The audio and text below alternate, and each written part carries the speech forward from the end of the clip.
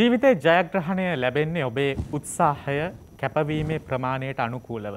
දුවල පුතාලට උත්සාහවන්ත වෙන්න පුළුවන් නම් කැපවෙන්න පුළුවන් නම් ජීවිතේ ජයග්‍රහණය කරා ගිහිල්ලා ඒ සතුට භුක්ති විඳින්න හැකියාව ලැබෙනවා. මීට අවශ්‍ය අත්‍යවශ්‍යම සාධකයක් තමයි අධ්‍යාපනය කියන කාරණාව. නිසි කලට නිසි වයසට අධ්‍යාපනය ලබලා අධ්‍යාපනික කඩයිම් ජයගත්තොත් ඔබට ජීවිතේ ඉලක්ක අරමුණු සාක්ෂාත් කරගන්න හැකියාව ලැබෙනවා. එයට මඟ පෙන්වන වැඩසටහනක් තමයි ඔන්න පහශ්‍රේණීය ශිෂ්‍යත්ව විභාගයේ ඉලක්ක කරගත්තු ස්මාර්ට් 5 වැඩසටහන. අපි සූදානම් අදත් ස්මාර්ට් 5 වැඩසටහනෙන් පහශ්‍රේණීය ශිෂ්‍යත්ව විභාගයේ සරල කරන පහසු කරන ක්‍රම රැසක් ඔබට කියා දෙන්න. ඔබේ ආදරණීය ගුරුතුමා ප්‍රවීණ දේශක සරත් ආනන්ද ගුරුතුමා අදත් අපේ වැඩසටහනට එකතු වෙනවා. ආයිබෝවන් සර්. ආයිබෝවන් අමිල ආයිබෝවන් දුවේ පුතේ. අපි හැමදාමත් වගේ පහශ්‍රේණී ශිෂ්‍යත්ව විභාගයට අදාළ ප්‍රශ්න සහ පිළිතුරු සාකච්ඡා කරනවා විතරක් නෙමෙයි කොහොමද මේ විභාගයට මුහුණ දෙන්න අවශ්‍ය වෙන්නේ කියන කාරණාව පිළිබඳ උපදෙස් ලබා දෙමින් තමයි සර් නිරන්තරයෙන් මේ පාඩම පැහැදිලි කරන්නේ. අපි අද දවසේ මොනවද කතා කරන්නේ? ඔව් අමිල අද අපි ප්‍රධාන වශයෙන් කතා කරන්නේ පරිසරය ආශ්‍රිත ක්‍රියාකාරකම් විෂයෙන් පහුගිය බදාදා අපි ලබා දුන්නු ප්‍රශ්න පත්තරේ. අමිල දැන් දෙයක් කියන්න ඕනේ. දැන් පහුගිය අගෝස්තු මාසෙනි ශිෂ්‍යත්ව විභාගය පවත්වන්නට නියමිතව තිබුණේ. හැබැයි රටේ ලෝකෙ පවතින වසංගත තත්ත්වයක් එක්ක මේ විභාග කාලසටහන ටිකක් පස්සට පස්සට ගියා. කොහොම නමුත් විවිධ ක්‍රම ඔස්සේ දරුවන්ට පාසල අහිමි වුණා, අමතර පන්ති අහිමි වුණා. හැබැයි දරුවෝ මේ වෙනකොට අමෙල මාර්ගගත ක්‍රම ආදී ඔස්සේ බොහෝ දරුවෝ මම කියන්නේ හැම දරුවෙක්ම කියලා ගොඩක් දුරට විෂයමාලාව අවසන් කරගෙන තියෙනවා. ඒ නිසා දැන් මේ ස්මාර්ට් 5 තුල අපි කරන මේ ප්‍රශ්න පත්තර වලට මුහුණ දීලා ඒව සාකච්ඡා කරලා දරුවන්ගේ දැනුමේ ප්‍රමාණය මැනගන්න හොඳ අවස්ථාවක් තියෙනවා. ඒ හින්දා දුවේ පුතේ පුළුවන් තරම් ඔබ අපේ නිෂ්පාදක කණ්ඩායම බදාදා වෙනකොට අපි මේ අද කතා කරන ප්‍රශ්න පත්‍රය ඔබට ලබා දෙනවා. ඔබ ඒ ප්‍රශ්න පත්‍රයට පිළිතුරු සපයලා පිළිතුරු ලියලා ඒ පිළිතුරු පත්‍රයත් අරගෙන අපේ පාඩමත් එක්ක සම්බන්ධ වුණා නම් ඔයා දැන් ඉන්න මට්ටම කොතනද කියලා ඔයාට අවබෝධ කරගන්න පුළුවන්. හොඳයි. දැන් එහෙනම් දුවල පුතාලට රූපවාහිනී තිරයේ අද දවසේ පළවෙනි ප්‍රශ්නය අපි මෙන්න මේ විදිහට ඉදිරිපත් කරනවා. වේලුණු විට ගම්මිරිස් බීජයට සමානව පෙනෙන්නේ මෙයින් කුමන බීජයද කියලා අහනවා අමිල. දැන් අමිල වේලුණාම ගම්මිරිස් බීජයට සමානව පේන්නේ කරාමු නැටිද ගස් ලබුද දෙලුම්ද දුලපතාල දන්නවා ගස්ලබු බීජය වේලුනාම ගම්මිරිස් ඇටේ වගේම තමයි අමිල. එනම් වේලුනාම ගම්මිරිස් බීජයට සමානව පෙනෙන්නේ මෙයින් කුමන බීජයද කියනකොට දුලපුතාල සපේල ඇති පිළිතුරමකක්ද ගස් ලබු කියන පිළිතුර. ගස් ලබු මේ තියෙන අමිල අපේ දුලපුතාලට පේනවා.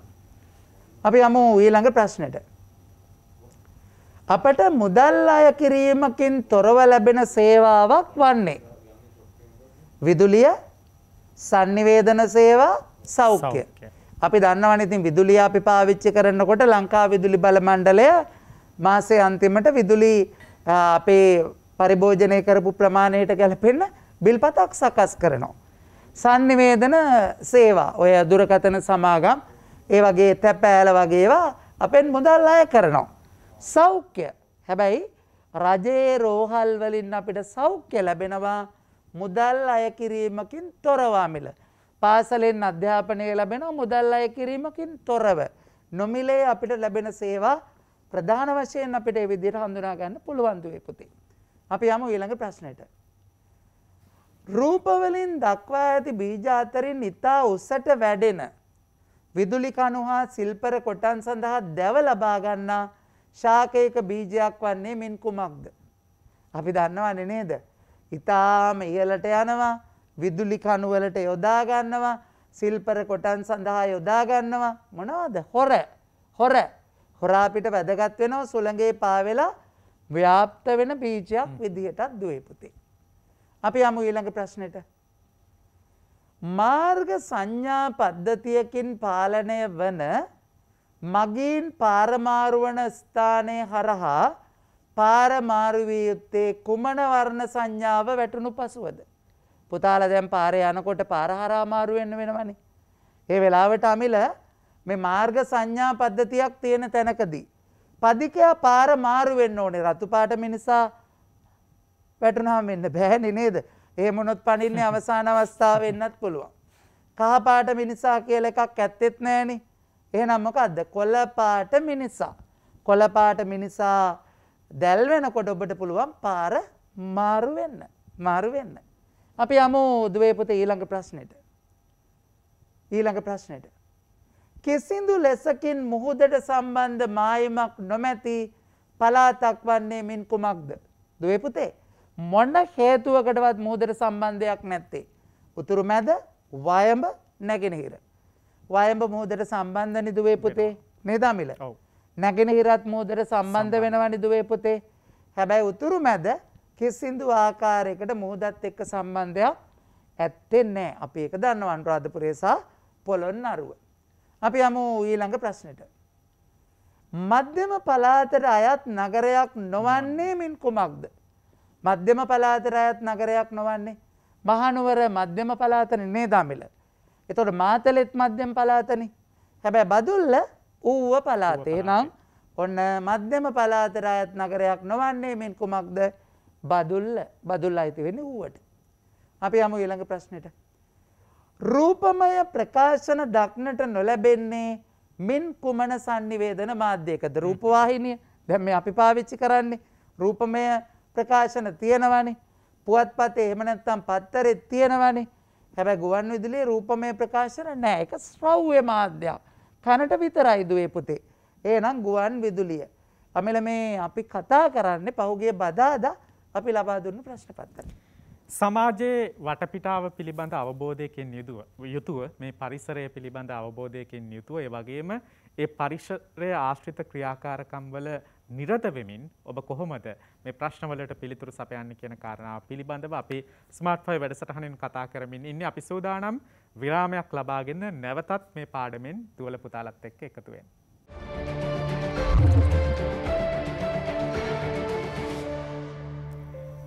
පාසල් යන දුවල පුතාලත් ගෙදරට වෙලා ඉන්න වෙලා තියෙන කාල වකවානුවක විභාග කඩයිම් ජයගන්න අවශ්‍ය දැනුම ළඟා කරදන මාධ්‍ය වගකීම ස්වාධීන රූපාහිනිය කරට අරගෙන ස්මර්ට් ෆයි වැඩසටහනෙන් පහශේනය ශිෂ්ත්ව භාගය සඳහා අපේ දුවල පුතාලට උදව් කරනවා.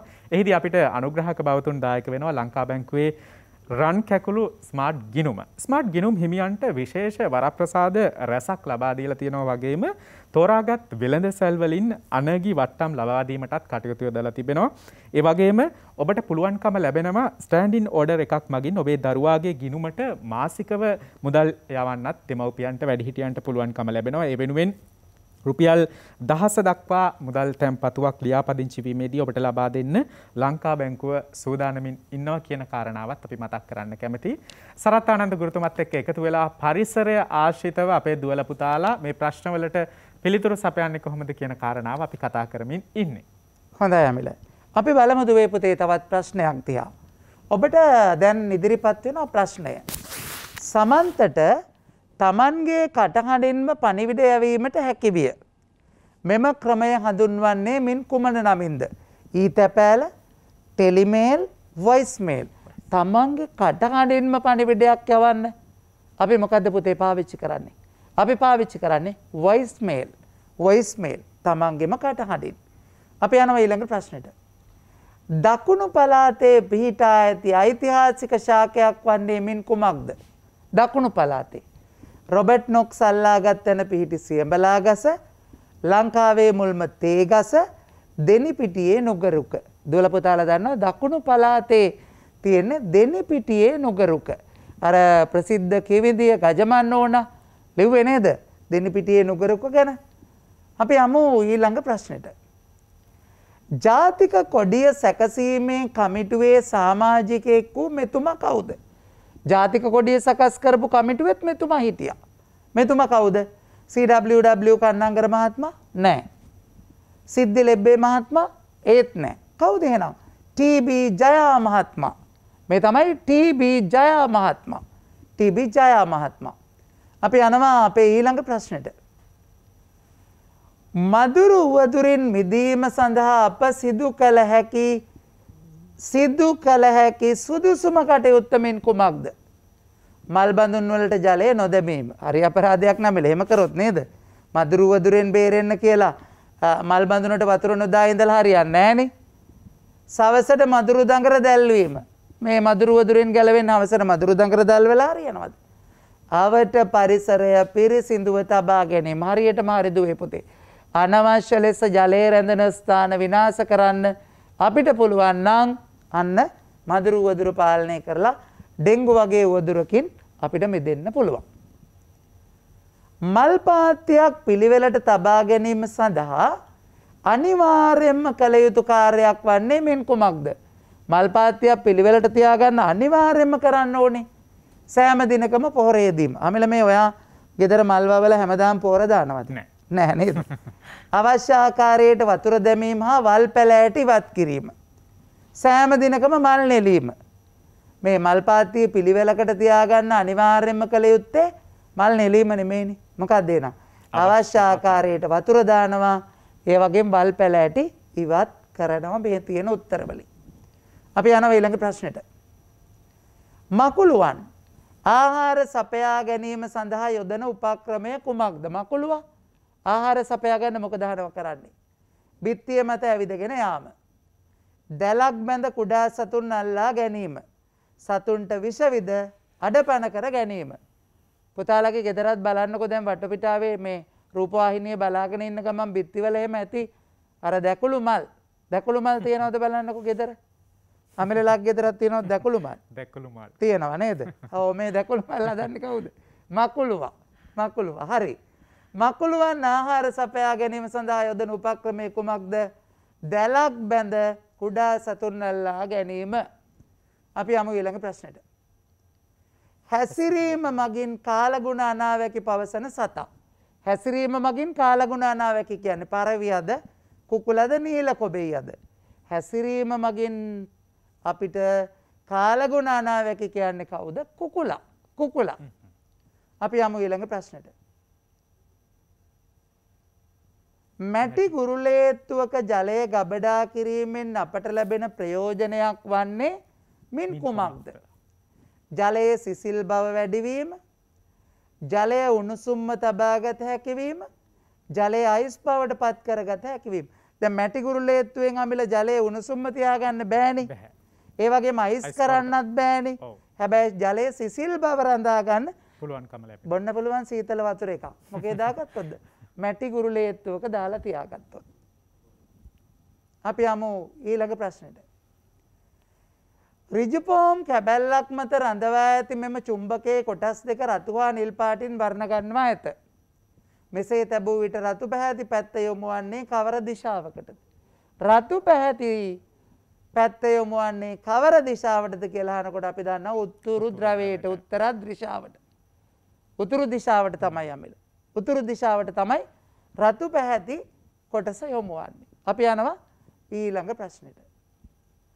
ආහාර කල්තබා ගැනීම සඳහා ඈත අතීතයේ සිටම අනුගමනය කළ ක්‍රමයක් වන්නේ මෙන් කුමක්ද. ආහාර කල්තියාගන්න ටින් කිරීම අමිල ටින් කිරීම ඇත අතීත තිබුණ නෑනේ.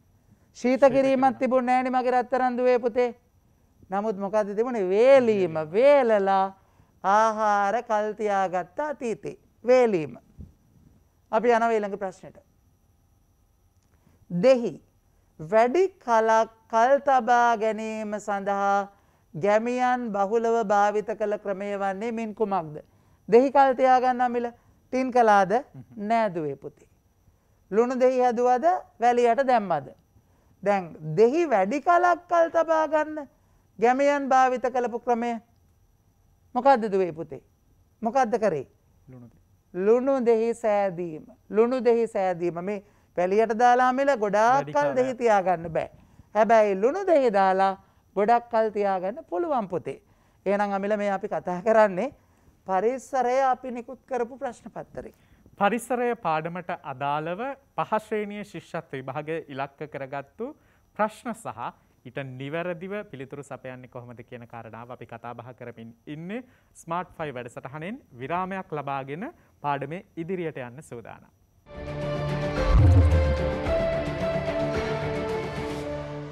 ස්මාර්ට් ෆයි වැඩසටහනත් එක්ක එකතුවෙන අපේ දුවල පුතාලට සමනල දැනුව වෙතින් මතක් කරන්න පනිවිඩයක් තිබෙන ඔන්න දුවපුතේ හොඳමදේ තෝරා නිවැරදිව ඔබට ගෙනෙන සමල්ල දැනුම ආයතනය මේ කාලවකවානුව පිළිබඳ හොඳ අවබෝධයකින් යුතුව නොමෙලේ සම්මන්ත්‍රණ මාලාවක් සකස් කරලා තිබෙනවා. සියලු විෂයන් ඉලක්ක කර ගනිමින් මේ පිළිබඳ වැඩිදුර තොරතුරු බිඳුවයි හතයි හයයි බිඳුවයි අනුනවයයි දහතුනයි බිඳුවයි නවය කියන දුරකතනංකය ඔස්සේ ලබාගන්න පුළුවන්. නැවතත් ඒ දුරකතනංකය මතක් කරනවනම් බිඳුවයි හතයි හයයි බිඳුවයි අනුනවයයි දහතුනයි බිඳුවයි නවය කියන දුරකථනංකය ඔස්සේ සමන්ල දැනුම ආයතනය විසින් ඔබ වෙත ගෙනන සම්මන්ත්‍රණ මාලාව පිළිබඳ වැඩිදුර තොරතුරු අපේ දුලපුතාලට දැනගන්න පුළුවන්. අපි සරත් ආනන්ද ගුරුතුමත් එක්ක එකතු වෙලා පරිසරය ආශ්‍රිතව ප්‍රශ්නවලට පිළිතුරු සපයන්නේ කොහොමද කියන කාරණාව කතා කරමින් ඉන්නේ. ඔව්වමිල. ඇට ඉවත් කර ආහාරයට ගන්නා එළවලුවක් වන්නේ මින් කුමක්ද කියලා අහනවා. ඇට ඉවත් කරලා. මාළු මිරිස් නෑනි පුතේ අපි මාළු මිරිස් වල ඇට ඉවත් කරන්නේ නෑනේ අමිල. වම්බටු. අපි වම්බටු වලත් ඇට ඉවත් කරන්නේ නැහැ. හැබැයි අපි ඇට ඉවත් කරනව මොනවයිද? පතෝල වල. පතෝල තමයි එහෙනම් ඇට ඉවත් කරලා ආහාරයට ගන්න එළවලුවක් බවට පත්වන්නේ. අපි යනවා ඊළඟ ප්‍රශ්නෙට. අපි යනවා ඊළඟ ප්‍රශ්නෙට. අඬු වලින් යමක් තදින් අල්ලා ගන්නා සතෙක් වන්නේ මින් කවරෙක්ද? අඬු වලින් යමක් තදින් අල්ලා ගන්න සතෙක්. අඬු වලින්. හුණ හුණ අඬු වලින් අල්ලන්නේ නැහනේ පුතේ. කැරපොත්තා කැරපොත්තත් අඬු වලින් අල්ලන්නේ නැහනේ. හැබැයි කවුද ඉන්නව මෙන්න? ගෝනුස්සා. ගෝනුස්සා. අඬු වලින් යමක් තදින් අල්ලා ගන්න සතෙක් බවට පත්වනවා ගෝනුස්සා. ඊළඟ ප්‍රශ්නේ. එළවලු පළතුරු වගා කරන ගොවියන්ට උපදෙස් සැපයීම සඳහා ගම්මට්ටමින් යොදා ඇති නිලධාරයා කවුද. එළවලු වවන පළතුරු වවන ගොවියට උපදෙස් දෙන්න. ආර්ථික සංවර්ධන නිලධාරි නෑ. කෘෂි පර්යේෂණා නිෂ්පාදන සහකාර නිලධාරී. හරියට හරියා තමයි ගොවියට උපදෙස් දෙන්නේ. සමුෘද්ධි සංවර්ධන නිලධාරී එකට අදාළ වෙන්නේ නෑනේ. එහෙනම් දෙවෙනි උත්තරේ. අපි යනවා ඊළඟ ප්‍රශ්නෙට. සතුනට වැළඳෙන ලෙඩරෝග සම්බන්ධව කටයුතු කරන ආයතනය මින් කුමක්ද. ගොවිජන සේවා දෙපාර්තමේන්තුව මිල්කෝ ආයතනය පසු අයිද නිලධාරී කාරය. ලෙඩරෝගනි ලෙඩරෝගවලට නම් කවුදේ නම් පසු වෛද්‍ය නිලධාරි කාර්යාලය. පස වෛද්‍ය මධ්‍යස්ථානය. අපි යනව ඊළඟ එකට. සුනකයන් නැති කරන අය අනිවාර්යෙන්ම කළ යුතු දේ මින් කුමක්ද. බල්ල ඇති කරන අය කරන්න ඕනෙ දේ. දම් වැලකින් වූ සෑම විටම ගැටගසා තැබීම සුනකයා කූඩුවකට දමා ඇති දැඩි කිරීම ජලබීතිකා මර්ධන එන්නත් එම සතාට ලබාදීම. අනිවාර්යම කළ යුතුදේ. සෑම විටම ගැටගහන එකද නෑ. කූඩුවට දාලා ඇති කරන එකද ඒත් නෑ. එ නම්මකක්ද. ජලබීතිකා මර්ධන එන්නත එම සතාට ලබාදීම. අපි යමු ඊළඟ ප්‍රශ්නයට. ගොයම් කැපීම සඳහා භාවිත කරන උපකරණය මෙන් කුමක්ද? කැත්ත? අමිල කැත්තෙන් ගොය කපන්නේ දෑ කැත්ත? අන්න හරි. වක්පී අපි පාවිච්චි කරන්නෙත් නෑ. හෙනම් ගොයම් කැපීම සඳහා භාවිත කරන උපකරණය මොකක්ද දෑ කැත්ත තමයි දුවේ පුතේ. දෑ කැත්ත. කුප්පිලාම්පුව භාවිතය නිසා සිදුවීමට ඉඩ ඇති දරුණු මහානිය වන්නේ මෙන් කුමක්ද? කුප්පිලාම්පුව නිසා වෙන්න පුළුවන් දරුණු මානය අප්‍රසන්න තුමක් වහනේවීම. එක දරුණු හානියක් නෙමෙයිනි. දැලිකුණු තැන තැන තැවරීම දරුණු මහානිය නෙමෙයි. කුප්පිලාම්පුුව පෙරලී පිලිස්සුම් තුවාල සිදුවීම. මේ විදුලිය නැති යුගයාමිල හරියට මේ අනතුර තිබුණා කුප්පිලාම්පු නිසා. ඒ නමකක්ද කුප්පිලාම්පුුව පෙරලී පිලිස්සුම් තුවාල සිදුවීම කියන පිළිතුර තමයි අපි පිළිතුරු විදියට ගන්නේ. මෙහි ඇති දැතිරෝග දෙක කැරකෙන වටගණන ගැන නිවැරදි ප්‍රකාශය තෝරන්. බයිසිකල් එකේ තියෙනවන යමිල දැතිරෝධ දෙකක් එකක් අර පැඩලේ සම්බන්ධ වෙච්ච ලොකු දැතිරෝධය. අනිත්තක පටසු පස රෝධයත් එක්ක සම්බන්ධ වෙච්ච කුඩා දැතිරෝධය. දැන් අහනවා කුඩා දැතිරෝධය වැඩිවාර ගණනක් කැරකැවේ. විශාල දැතිරෝධය වැඩිවාර ගණනක් කැරකැවේ. රෝධ දෙකම සමානවාර ගණනක් කැරකැවේ නෑ. රෝධ දෙකම මිල සමානව කැරකෙන්න්න බෑනි. ඒවගේ විශාල දැතිරෝධය වැඩිවාර කරනක් කැරකෙන්න්නත් බෑනි එනම් මොකක්ද කුඩා දැතිරෝධය වැඩිවාර කරනක් කරකවේ කියන උත්තරයට තමයි අපි යන්නේ. අපි බලමු ඊළඟ ප්‍රශ්නේ. මගී ජනතාවගේ ආරක්ෂාව සඳහා බයිසිකලේ සවිකර ඇති උපකරණය කුමක්ද. හැඩලය සීනුව ලැගේජය. මොකක්ද පුතේ මිනිස්සුන්ගේ ආරක්ෂාවට තියෙන්. සීනුව සීනුවනාද කරලා අනතුරු අලක්වා ගන්න අවස්ථාවක් අපිට ලැබෙනවා. හමිල එහෙම නම් පහුගේ බදාදනිකුත් කරපු ප්‍රශ්න පත්තරේ තමයි අපි මේ විදිහට සාකච්ඡා කළේ. ඔන්න ඔය විදිහට තමයි පහශ්‍රේණය ශිෂ්‍යත්ව විභාගයට අපේ දුවල පුතාලට අපි පහසු මාවතක් සකස්සල දෙන්නේ ස්වාධීන රූපවාහිනිය ස්මාර්ට් ෆයි වැඩසටහන තුළින් දුවපුතේ අපේ පහුගිය වැඩසටහන් සියල්ල ඔබට නරවන්න පුළුවන් කම ලැබෙනවා ITN ශ්‍රී ලංකා 2.0 YouTube නාලිකාවට පිවිසීමෙන්. ඒ වගේම අපි එළඹෙන සතියේ කතාබහ කරන ප්‍රශ්න සහ පිළිතුරුවල ප්‍රශ්න පත්‍රය අපි ලබන බදාද වෙද්දි දුවල පුතාලට ලබා දීමට කටයුතු යොදලා තිබෙනවා. ඔබට එය ලබා ගන්න පුළුවන් www.itn.lk/smart5 කියන වෙබ් අඩවියට ගිහිල්ලා ඒ ප්‍රශ්න පත්‍රය ලබාගෙන ඒ ප්‍රශ්න වලට පිළිතුරු ලියලා ඒවා හරිද නිවැරදිද කියලා බලා ගන්න අපේ වැඩසටහනත් එක්ක එකතු වෙන්න කියන ආරාධනාව කරනවා. ඔබේ ආදරණීය ගුරුතුමා ප්‍රවීණ දේශක සරත් ආනන්ද ගුරුතුමාට අපි බෙහෙවින්ම ස්තුතිවන්ත වෙනවා. අද දවසේදී මේ දැනුම සමග අත්දැකීම ඔබේ ඔබට සමීප කිරීම වෙනුවෙන් අපේ ස්මාර්ට් ෆයි වැඩසටහනින් සමුගෙන යන්න සූදානම් ඔබට සුබ දවසක් ප්‍රාර්ථනා කරමින්.